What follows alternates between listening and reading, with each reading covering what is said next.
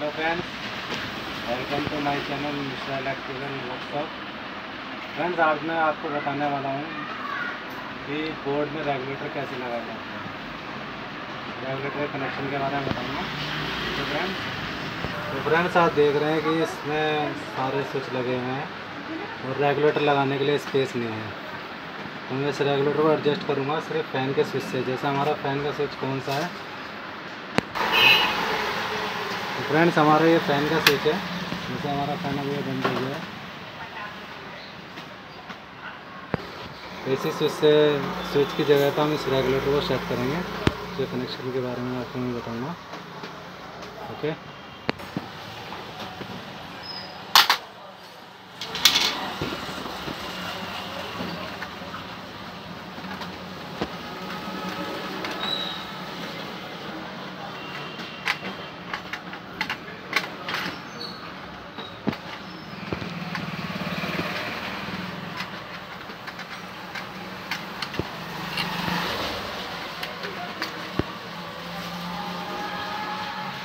तो फ्रेंड्स, ये हमारे बोर्ड में रेगुलेटर लगाना है हमें।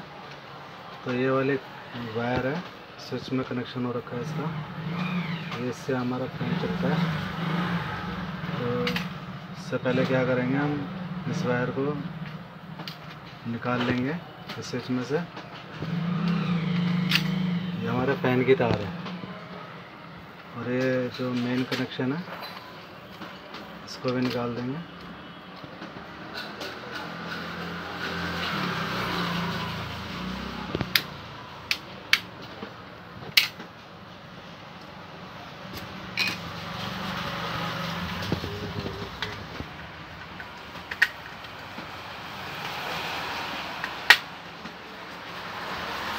से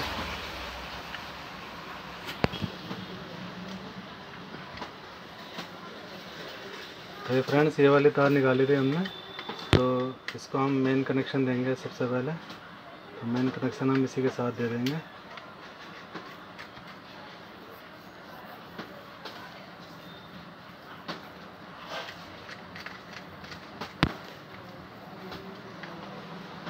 और ये वाली वायर पंखे वाले तार में जोड़ देंगे।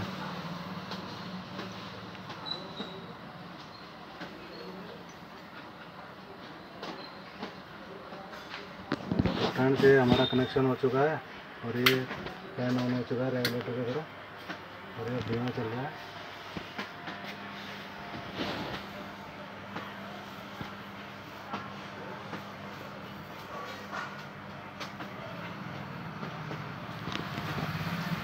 फ़ैन धीमा चल रहा है इसका। और हमने इसको फुल स्पीड में कर दिया।